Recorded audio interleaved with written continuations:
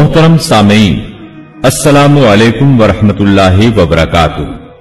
اللہ تعالیٰ فرماتے ہیں اللہ خالق کل شيء وہو على کل شيء وکیل۔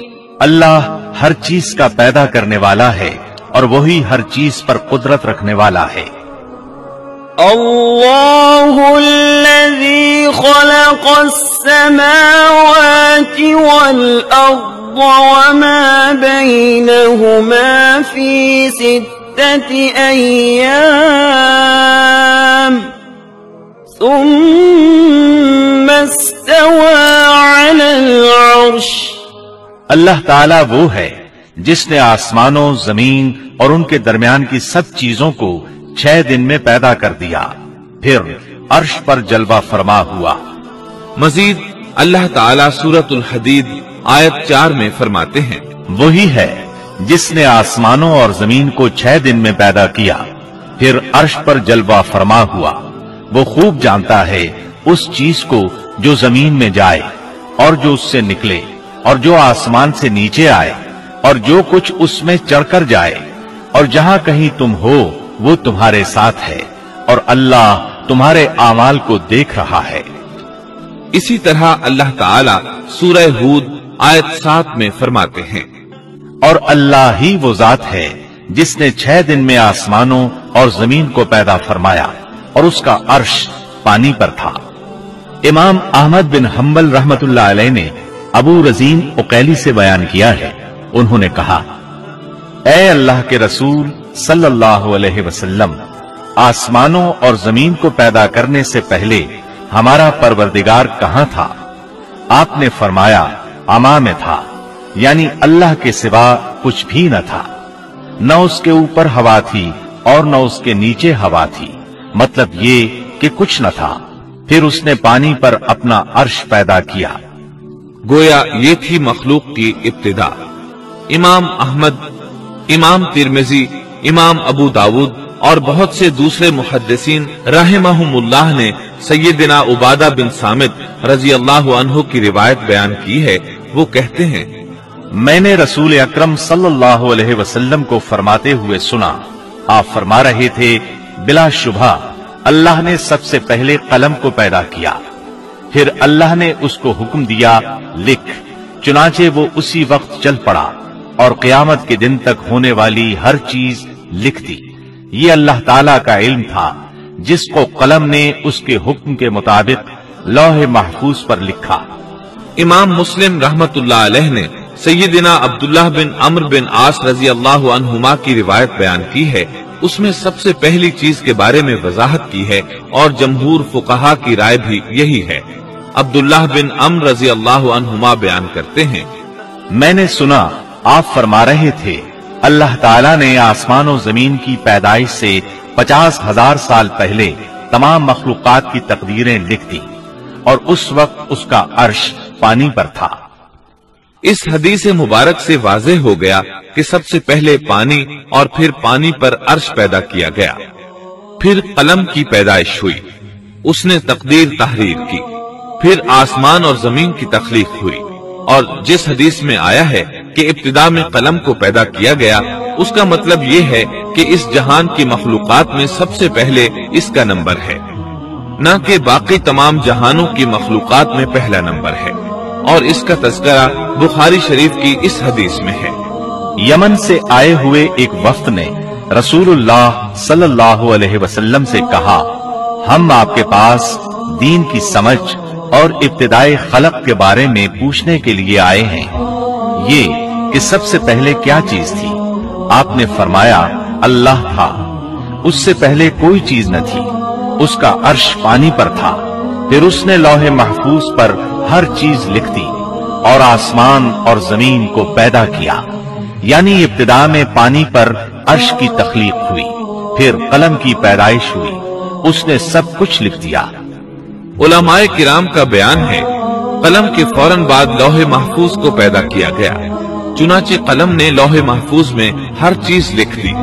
اس کے بعد کائنات کی باقی مخلوقات اور آسمان و زمین کی پیدائش مہاراز وجود میں آتی گئی۔ اشیاء کی پیدائش والی ترتیب میں علماء کرام کے کئی اقوال ہیں۔ اور ہم نے آپ کے سامنے جمہور علماء اور فقہا کی پسندیدہ اور راجہ ترتیب پیش کی ہے۔ آسمان اور زمین کی مخلوقات کی ترتیب کیا ہے؟ اس بارے میں امام مسلم رحمت اللہ علیہ نے سیدنا ابو حریرہ رضی اللہ عنہ کی روایت پیش کی ہے۔ وہ کہتے ہیں، نبی اکرم صلی اللہ علیہ وسلم نے میرا ہاتھ پکڑا اور فرمایا، اللہ تعالیٰ نے ہفتے کے دن مٹی کو پیدا کیا۔ اتوار کے دن زمین میں پہاڑ، پیر کے دن درخت، منگل کے دن تکالیف مسائب جراثیم اور بیماریاں۔ بدھ کے دن نور کو، جمعرات کے دن زمین میں چوپایوں کو پھیلا دیا۔ اور تمام مخلوقات میں جمعے کے دن کی آخری گھڑیوں یعنی عصر سے رات کے درمیان میں آدم علیہ السلام کو پیدا کیا۔ مطلب یہ کہ ابتدائے آفرینش میں جن مخلوقات کی تخلیق ہوئی، ان میں سے آخری مخلوق انسان تھا۔ اس حدیث میں مختلف حالات کو نہایت وضاحت سے بیان کیا گیا ہے۔ اس سے بخوبی پتا چل گیا کہ ابتدائی مخلوقات کی ترتیب کیا تھی۔ ان میں سے آخری نمبر آدم علیہ السلام کا تھا، جبکہ آدم علیہ السلام نسل انسانی میں سب سے پہلے اور تمام انسانوں کے باپ ہیں۔ انسانوں سے پہلے فرشتے اور جن پیدا ہو چکے تھے۔ صاحب عقل مخلوقات میں سب سے پہلا نمبر فرشتوں کا، دوسرا نمبر جنوں کا اور آخری نمبر انسانوں کا ہے۔ فرشتوں کا اصل ٹھکانہ آسمان ہے۔ اللہ تعالیٰ سورت الشورا آیت پانچ میں فرماتے ہیں، قریب ہے کہ آسمان اپنے اوپر سے پھٹ پڑے اور تمام فرشتے اپنے رب کی تسبیح اور تحمید بیان کر رہے ہیں اور زمین والوں کے لیے استغفار کر رہے ہیں۔ خبردار، اللہ تعالیٰ معاف کرنے والا، رحمت کرنے والا ہے۔ مسلم شریف میں ہے سیدہ عائشہ صدیقہ رضی اللہ عنہا سے روایت ہے کہ نبی اکرم صلی اللہ علیہ وسلم نے فرمایا فرشتوں کو نور سے اور جنوں کو آگ سے پیدا کیا گیا اور آدم کو اس چیز سے پیدا کیا گیا جو تمہارے لیے بیان کر دی گئی یعنی مٹی سے۔ فرشتوں کی تخلیق کے بعد جنوں کو پیدا کیا گیا، جنوں کو بھی انسانوں سے پہلے پیدا کیا گیا تھا۔ جیسا کہ اللہ تعالیٰ سورت الحجر آیت ستائیس میں فرماتے ہیں۔ اور اس سے پہلے جنات کو ہم نے لو والی آگ سے پیدا کیا۔ جنات کے بارے میں بہت زیادہ آیات و احادیث موجود ہیں۔ اللہ تعالیٰ فرماتے ہیں، اور جنات کو آگ کے شولے سے پیدا کیا گیا۔ مارج آگ کے بھڑکتے شولے کے کنارے کو کہتے ہیں۔ گویا جنوں کو آگ کی جڑ سے نہیں بلکہ آگ کے شولوں کے کنارے سے پیدا کیا گیا ہے۔ قرآن مجید میں اللہ تعالیٰ نے ابلیس شیطان کا قول نقل کیا ہے۔ تو نے مجھے آگ سے پیدا کیا۔ اسی طرح پہلے بھی بیان ہو چکا ہے کہ اللہ نے فرمایا اور اس سے پہلے جنات کو ہم نے لو والی آگ سے پیدا کیا۔ یہ ہے جنات کی اصل اور بنیاد۔ ابلیس ملعون بھی جنات میں سے ہے اور اس مسئلے میں کسی کو تردد اور شبہ نہیں ہونا چاہیے۔ اس لیے کہ قرآن مجید میں ہے۔ اور ابلیس جنوں میں سے تھا۔ مطلب یہ کہ وہ فرشتوں میں سے نہیں تھا۔